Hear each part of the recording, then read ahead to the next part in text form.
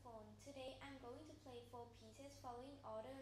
The first piece is the Bare Necessity by Sherry Gilkyson, and next piece is Abendsegen by Engelbert Humperdinck. The third piece is Spirituoso by Nila Velazquez, and the last piece is the Horseshoe Shuffle by Beverley Carlin. This repertoire from syllabus 2022.